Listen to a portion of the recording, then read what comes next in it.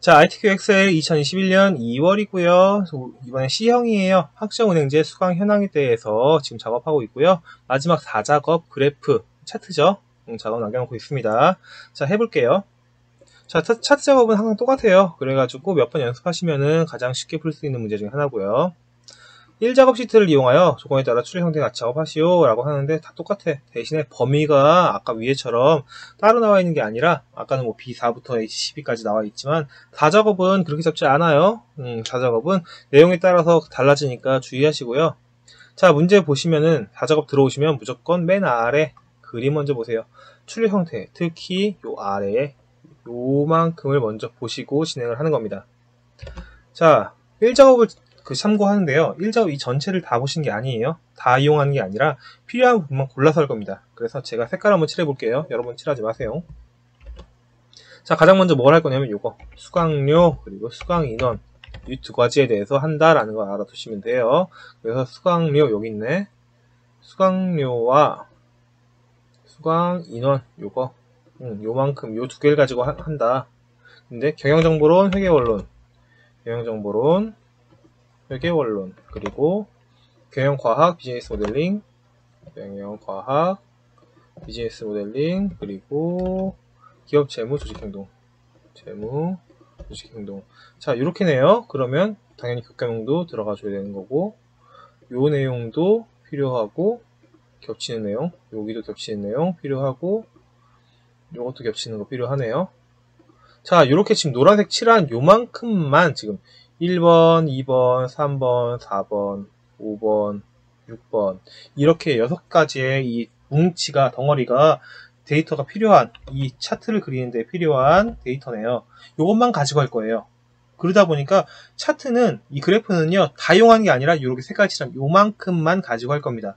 근데 이 색깔을 여러분들 엑셀에 칠하면 안 되잖아. 나중에 헷갈리잖아. 그러니까 반드시 문제지에다가 이렇게 표시를 하고 음, 하시면은 틀리지 않을 겁니다. 자, 이거를 선택하려고 했더니 어? 아이고 이거 선택 못하잖아. 연속으로 돼 있는 게 아니라 떨어져 있잖아.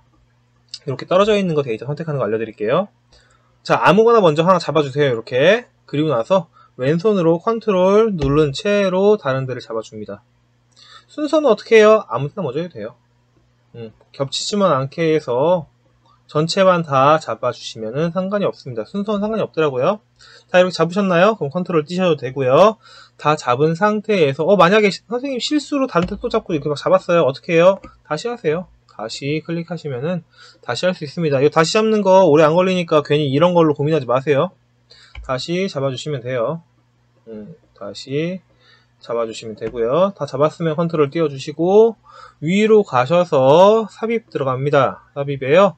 여기 차트에 요 막대 같은 거 들어가 보면은 첫 번째 2차원 세로 막대형에 묶은 세로 막대형 있습니다. 요걸로 클릭 하시면 차트가 예쁘게 만들어집니다. 됐죠? 자 여기까지가 이거 차트 종류 묶은 세로 막대형 한 거고요. 데이터 범위 1작업 시트 내용 이용하여 작업한 거예요. 그래서 1, 2번이 끝난 겁니다. 이렇게 하면. 됐죠? 자 3번 위치부터 갈게요. 새 시트로 이동하고 제 4작업으로 시트 이름 바꾸세요. 그래서 이거 이렇게 시트를 만들다 보니까 아까 우리 맨 처음에 1작업 2작업 3작업까지만 만든 거예요. 4작업은 여기서 이렇게 만듭니다. 자 해서 위치 바꾸래요. 다시. 그 차트 맞는 그대로 해서 위로 가보면요 여기 위치 있습니다. 위치에 차트 이동 있어요. 클릭 그러면 차트 이동 새 시트 클릭. 이름 뭐였어? 제 4작업. 그쵸? 만들었으면은 확인. 하면은요 자동으로 4작업이 만들어지고요. 여기 4작업 시트가 만들어졌고요. 이렇게 대빵만하게 차트가 만들어집니다. 그러면 벌써 3번도 끝. 자 넘어가기 전에 어차피 이거 봤으면 사실 다 아시겠지만 맨 밑에 보시면요 이거 나와 있어요 주의 시트명 순서가 차례대로 1, 2, 3, 4 작업이 되도록 할 것이라고 했어요 그래서 이거 여기 4작업 그냥 처음에 만들어지면 바로 클릭해서 드래그해서 끝으로 몰아버리세요. 그러면 1, 2, 3, 4 작업 순서대로 됐죠. 기억 안 나시면 마지막에 하셔도 되고요. 음, 딱 봤을 때 생각나면 바로 넘겨버리세요, 그냥. 마지막에 하셔도 상관없습니다. 자, 4번 차트 디자인 도구 할 거예요. 자, 차트 그대로 잡혀있는 그 상태 그대로 위로 보면은요, 레이아웃 나와 있어요. 네, 레이아웃 3이래요. 세 번째 거 클릭. 차트 스타일은요, 첫 번째래요. 클릭. 하면은, 여기서 얘기하는 레이아웃 3 스타일 1 선택 다 된 겁니다. 자, 출력 형태 맞게 작업하라는데 이거는 마지막에 한 번에 다 할 거예요. 자, 5번이요. 영역 서식 갈 거예요. 자, 영역이라는 게 뭐냐면요. 자, 마우스로 가만히 올려보세요. 차트 영역 나오죠. 여기는 제목, 여기는 계열, 여기는 그림 영역, 여기는 축, 가로축, 그쵸? 이렇게 마우스 올리면 뭐가 뭔지 다 보입니다. 그 상태에서 예를 들어 아무 데서나 더블 클릭 따닥 하면은 옆에 서식이 나와요. 혹은 오른쪽 클릭을 막 하다 보면은 여기 차트 영역 서식 있죠. 여기는 데이터 계열 서식 있죠. 여기는 그림 영역 서식 있죠. 어디를 눌러도 서식이 있습니다. 서식 누르면은요 옆에 서식이 떠요. 이거 한번 열어놓으면 그냥 끝까지 열어놓을 거예요. 계속 여기서 다른 데 누르면 자동으로 바뀌거든요. 이런 식으로. 그쵸? 음, 바뀐 거 확인되죠? 그래서 열어놓은 채로 진행될 거고요. 버전마다 이게 뭐 팝업으로 뜨든지 아니면 이렇게 옆에 창으로 뜨든지 하는데 어떻게 떠도 상관없습니다. 위치는 다 비슷비슷해요. 음, 상관없어요. 자, 영역 서식 가볼게요. 하나씩. 차트부터 합니다. 차트 서식, 차트 영역은요, 바깥쪽이에요. 그쵸? 바깥쪽 한번 클릭하면은 여기 차트 영역 서식으로 바뀌어요. 자, 차트 영역 서식에서요, 뭘 해? 글꼴 굴림 11. 음, 글꼴 굴림 11. 여기 채우기 해서 되는데, 여기 위에 보면은 우리 원래 하던 거 있잖아요. 여기에 굴림이래요. 굴림. 음, 바뀌었죠? 11포인트고 또 뭐하라고? 어 됐네요. 어, 여기까지 했으면은 그걸 바꿨는데 여기서 마무리가 아니라 주의할 거. 차트는요 기본 그 세팅이 글씨도 그렇고 선도 그렇고 다 회색이에요. 그러다 보니까 이거 회색, 회색을 다 검은색으로 바꿔줘야 됩니다. 좀 귀찮더라도. 그래서 글씨 글꼴 폰트하고 이거 뭐야 글꼴 크기 바꿨으면은요 밑에 색깔 폰트 색깔 검은색으로 바꿔줍니다 바뀌었는지 안 바뀌었는지 잘 모르겠죠. 보시면은 뒤로 돌아가게 해볼게요. 짠, 요거 하고 음, 돌아가면은 색깔이 조금 진해진 거 확인할 수 있어요. 그래서 가, 검은색으로 반드시 바꿔주셔야 됩니다. 자, 채우기 효과는 질감 파랑 박엽지래요. 뭐야? 보니까 이, 아, 요건가 보다. 그쵸? 요 색이 파랑 박엽지네. 자, 보면은 채우기 효과, 채우기 있네, 채우기 클릭. 여기에 질감 여기 있네요. 질감 클릭. 자, 질감 보니까 여러 가지 있는데 그 중에 아 이건가 보다. 마우스 올려보니까 파란 거겹지 보이죠? 여기가 지금 보일래나 모르겠다 내 얼굴 때문에. 파란 거겹지 요거 클릭 하면은 찾을 수 있습니다. 안 보셔도 금방 할, 따라갈 수 있어요 어딘지 아니까. 자 파란 거겹지까지 했어요. 그럼 여기까지는 다 했네. 음 됐고. 그림 채우기 흰색 배경 1이래 보니까 이건가 보다. 그치? 여기가 하얀색이잖아. 지금 보면. 이거 파란, 다 파란색인데 여기는 여기가 하얀색이니까 아마 여기겠지. 요 사이 짠 눌러보니까 역시나 그림 영역이네. 그치. 자, 여기에 단색 채우기래요. 어떤 색? 흰색이야. 파란색 말고 흰색. 배경일 요거네. 그치. 클릭. 자, 오, 비슷해지고 있어, 뭔가. 좋아. 요것도 됐고요 다음, 제목 서식이래요. 제목. 누가 봐도 여기지. 제목. 그치. 제목 서식은요. 차트 제목, 글꼴, 뭐, 어쩌고 채우기, 테두리 있는데, 아, 이거 글씨 먼저 쳐야겠네. 그러면 글씨 먼저 한번 입력을 해볼게요. 글씨 아이고. 음. 자 차트 제목 더블 클릭해서요. 마우스 들어가면은 여기서 고쳐주면 되겠죠. 전공 필수 및 전공 선택 교과의 수강 현황이라고. 아이고 전공 뭐야? 필수였지? 필수 및 전공 선택 교과의 수강 현황. 다 됐으면 엔터 치면 돼? 안 돼? 안 돼요. 다 했으면 ESC만 한번 콕 했어요. 이렇게 입력했으면요. 어, 글꼴 굴림 굵게 20. 글꼴 홈에 있죠. 홈에 굴림 20. 그리고 어떻게? 굵게 굵게 여기 있죠. 굵게 클릭 하면은 됐죠. 굴림 굵게 20. 굴림 굵게 20 됐고요. 채우기 흰색 배경 1. 아 그러네 여기 흰색이네. 자 얘도 채우기 여기 있죠. 채우기 흰색 배경 1 클릭. 채우기 됐고요. 자, 테두리. 마지막 테두리. 테두리 그리려고 봤더니, 어? 테두리 이거 아니었나요? 테두리 없어요. 어떻게? 테두리는요. 얘 오른쪽에 보면은요. 옵션에 채우기 말고요. 테두리 있습니다. 테두리. 실선 있죠? 실선 클릭. 어떤 색? 검은색이요. 됐나요? 그러면 이렇게 예쁘게 선이 그려져서 테두리가 완성이 됩니다. 그러면 얘도 끝. 자, 7번 서식입니다. 얘도 항상 똑같은 모양인데 수강 인원 계열의 차트 종류. 수강 인원 계열입니다. 그래서 표식이 있는 꺾은 선형으로 변경한 후 보조축 지정하세요. 자, 똑같은 거니까 쉽게 쉽게 가볼게요.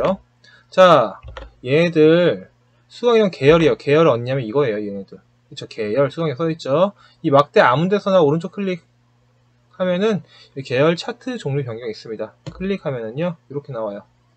요 중에 뭐였냐면은 수강 인원 계열이라고 했어. 수강 인원. 이 파란색이네. 수강 인원 계열을요, 눌러서 뭘로 바꾸냐면요, 항상 똑같습니다. 꺾은 선형에 점 있는 거 첫 번째. 표식이 있는 꺾은 선형. 요거예요. 요거를 클릭. 그리고 옆에 보조축 클릭. 그러니까 이게 계열이 어떤 계열인지만 확인하면 돼요. 이건 똑같습니다. 자, 골랐으면은 됐으면 확인 눌러주면은요. 요렇게 어 뭔가 이거랑 점점 비슷해지고 있어요. 모양이. 그쵸? 음, 됐어요. 어, 차트 종류 바꿨고요. 보조축 지정했어요. 자, 계열은요. 수식 참조해서 표식, 마름모, 크기 10 하래요. 마름모 보니까 아 이건가 보다. 누가 봐도 이게 마름모잖아. 그쵸? 어 그럼 이것도 해봐야지 뭐 이건 동그라미니까 살짝 여기 클릭해 보면은요 오른쪽에 데이터 계열 서식 바뀝니다. 자 잘 찾아오셔야 돼요. 마름모 어디 있냐면요 여기 채우기 선 눌러보면은 표식이 있습니다. 표식이에요. 음, 여기에 테두리 말고요 표식 옵션이 있습니다. 옵션에 기본 제공 그리고 얘를 마름모 그리고 크기가 10이었죠. 10 엔터 치면은 이렇게 예쁘게 바뀝니다. 찾아오는 거 몇 번 해보시면은 금방 찾는데 처음 해보시면은 좀 어, 어버 어버버 할 수 있어요. 음, 천천히 찾으셔도 돼요. 괜찮아요. 시간 그렇게 어, 부, 부족하지 않으니까 천천히 찾으셔도 되고 연습하시면은 몇 번 해보시면은 이거 항상 똑같이 이렇게 들어가거든요. 똑같이 가니까 연습해 보시면은 금방 찾아요. 자, 마름모 했어요. 마름모 크기 10. 레이블 값 표시하세요. 레이블 값이 뭐냐면 바로 이거예요. 112명 되어 있는 요겁니다. 요게 아마 여기 붙어 있을 것 같긴 한데 이거 잘 모르시겠으면 어디 붙어 있는지 모르겠으면 마우스를 올려 가만히 보시면 값 보이죠? 147000 얘는요. 112명. 아 이거네. 얘네 얘. 그쵸? 얘니까 얘한테 표시해주면 되겠네. 자 얘 에서 오른쪽 클릭 짠 해보면은 여기에 데이터 레이블 추가 있습니다. 클릭해보면 다 붙어요 이렇게. 다 붙으면 돼, 안 돼? 안 돼요. 다 붙는 거 아니야. 얘만 붙어야 돼. 그쵸? 그러니까 이거 말고요. 돌아갈게요. 이거 말고 지금 선택이 얘네가 돼 있잖아, 다. 이 상태에서 표시할 얘만 한 번 더 클릭해주면 돼요. 그러니까 천천히 두 번 클릭해주면 돼요. 그러면 얘, 얘 혼자 잡힙니다. 그 상태에서 오른쪽 클릭하고 레이블 추가를 눌러주시면 얘만 이렇게 잡힙니다. 어렵지 않죠? 자, 레이블 추가 됐어요. 하면 얘까지 끝. 자, 눈금선 선 스타일 파선이래요. 눈금선은 뭐냐면요, 바로 요거예요. 요렇게 가로, 요렇게 돼 있는 거. 얘네들, 얘네들. 얘네들, 여기 보니까, 아, 선 있네. 선 눌러보면은 선이 이렇게 잡혀요. 점점, 점점 해서 이렇게 잡혀요. 요 선이 선 스타일 파선, 어디냐면요, 요 선에 실선에요. 음, 아래 보면 대시 종류, 대시 종류에 하나, 둘, 셋, 네 번째 파선 있습니다. 그쵸? 파선 골라주시면 되고요. 색깔도 당연히 검은색 골라주시면은 예쁘게 이렇게 파선이 됩니다. 그래서 파선까지도 끝. 음, 어렵지 않아요. 자, 다음은 축이요.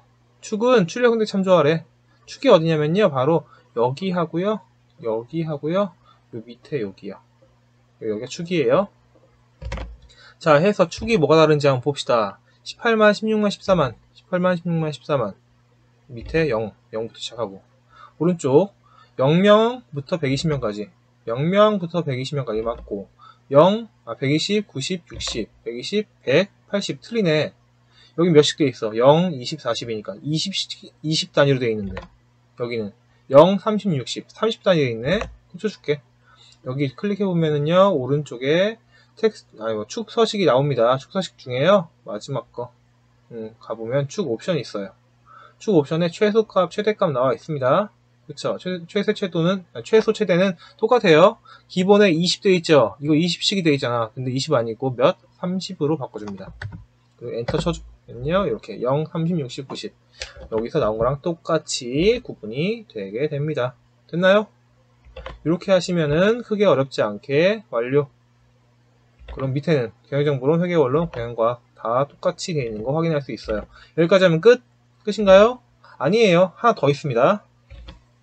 자, 이거 고쳐준 거 맞아요. 그리고 나서 보면은 여기 선 있죠, 선. 여기도 선 있고요. 여기도 밑에 선 있죠. 이거 보면은 선 아무것도 없죠. 그러니까 이 선 그려줘야 됩니다. 이거 축, 축의 선이에요. 이 전, 이 하얀 부분의 선이 아니라 축의 각각 선이라서 선 그려줘야 됩니다. 그래서 여기서부터 선 그려줄게요. 요거부터. 자, 축 서식 중에 여기 채우기 밑에 선 돼 있죠. 실선이고요. 어떤 색? 검은색이요. 하면은 여기 선 그려진 거 볼 수 있어요.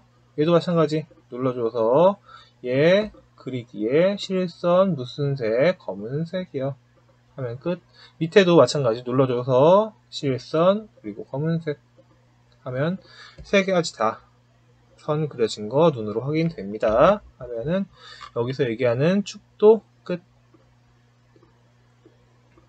음. 다음 8번 법례예요. 법례명 변경하래요. 법례명 여기 있어요. 요거 얘기하는 건데 법례는 얘랑 뭐가 다른지 보면은요. 얘는 한 줄, 얘는 두 줄이에요. 그러다 보니까 얘 고쳐줄 건데요. 이거 고치는 거는 조금 달라요. 그러니까 신경 써서 보셔야 돼요. 오른쪽에 여기서 하시는 게 아니에요. 어디서 하냐면요. 이 범례에서 오른쪽 클릭 하면은 데이터 선택이 있습니다. 데이터 선택을 클릭하셔서 수정하실 거예요. 자, 고르셨으면요. 어쩌고저쩌고 나와 있는데 우리 뭐, 뭐 바꿀 거냐면 여기에 수강료 단위원 요거 바꿀 거죠. 음, 요거 바꿀 거니까 수강료 단위원 얘를 클릭하시고요. 그리고 편집을 눌러봅니다. 편집. 그러면 이렇게 뜨는데 이 계열 편집 중에 계열 이름 직접 여기 써줄 거예요. 수강료 가로 열고 단위 원 땡땡이네요. 원 됐죠? 이렇게 하고 확인 짠 눌러주면은요 확인 눌러주면 여기 한 줄 바뀐 거 눈으로 확인할 수 있습니다. 됐나요? 자 하면은 범례 얘도 자, 9번 도형입니다. 도형은요, 누가 봐도 요거지, 지금. 그쵸? 모서리가 둥근 사각형 설명선 삽입하래요. 이거 넣는 거는 우리 해봤어, 이미, 도형. 자, 위에 삽입에 도형에 고르면 되는데, 가끔씩 이렇게 막 안 나올 때 있어요. 오, 도형 클릭이 안 돼요. 어떻게 해야 돼요? 여기 한번 눌러주면 돼요, 그냥. 음, 이 차트 그래프를 한번 눌러주고 하면 여기 떠요. 자, 도형에 설명선, 맨 아래 있네요. 설명선 중에 두 번째 거. 모서리가 둥근 사각형. 이거 얘기하는 거예요. 자 클릭. 찾아주면 되고요. 대충 그려주시면 돼요. 고민하지 마시고. 인기 과목이라고 돼 있는데 어, 설명서 삽입했어요. 삽입한 다음에 출력 형태 같이 작업 내용을 입력하세요. 어, 그냥 이거 보고 따라하면 되겠네. 인기 과목. 예 오른쪽 클릭. 텍스트 편집. 인기 과목. 하고 엔터 치면 안돼? 안 돼요. 아 여기 하나 떨어졌네요. 띄어쓰기 짠. 음. 다 쓰고 엔터 치면 안 되고요. ESC 한번 콕. 됐죠? 자, 이제 이거, 이거랑 똑같이 해볼게요. 자, 일단, 가로 가운데, 세로 가운데. 얘도 홈 탭에서 가로 가운데, 세로 가운데. 됐죠?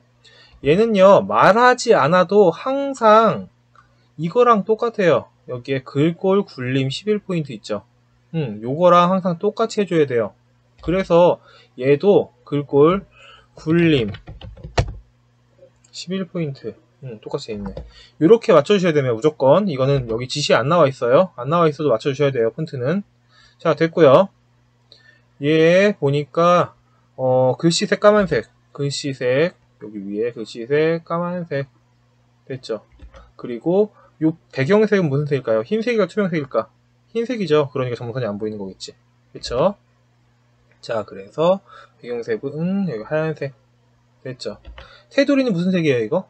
희한하게도 테두리가 깜, 검은색이 아니라 파란색이에요. 그래서 테두리는 그대로, 그냥 둘게요.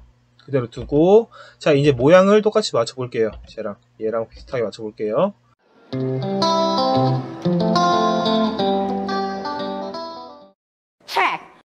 이 정도로 만들면 될 것 같아요. 점, 기준, 점 기준으로 해서 이렇게 만들었어요. 그러면은 어, 뭔가 조금 어설프긴 하지만 비슷하게 됐습니다. 그쵸? 음, 이게 좀 더 이쪽으로 와야 되네. 이렇게 와야 되네. 됐어요. 자, 이렇게 만들었으면요. 지금 여기 출력 형태와 같이 입력 다 완료한 거고요. 나머지 사항은 출력 형태 맞게 작성하시오. 자, 다 됐고요. 가장 지금 이거랑 다른 게 뭐냐면 바로 이거예요. 주황색 막대. 그쵸? 주황색 막대가 너무 얇죠, 얘는. 바꿔볼게요. 얘 클릭해보면은 오른쪽에 데이터 계열 옵션 나오고 겹치기 간격 너비 나오는데요. 데이터 계열 겹치기는요, 0. 그리고 간격 너비는 75로 잡아줄게요. 잡아주면은 이렇게 뚱땡이로 바뀌게 됩니다. 됐나요? 자, 그러면 마지막 이 출력 형태까지 마찬가지 다 마, 마무리했고요. 요거랑 요거랑 비교해 보시면서 다른 게 있는지 없는지 그리고 지시한 대로 했으면은 크게 틀리지 않게 다 감점 없이 될 겁니다. ITQ 엑셀 생각보다 그렇게 어렵지 않은 시험이어서 천천히 몇 번만 좀 집중해서 연습하시면은 A등급 충분히 쉽게 맞으실 수 있습니다. 그러니까 포기하지 마시고 특히 함, 함수 음, 포기하지 마시고 많이 연습해서 꼭 모두 A등급 맞으시기 바랍니다. 오늘도 공부하시느라 수고하셨습니다.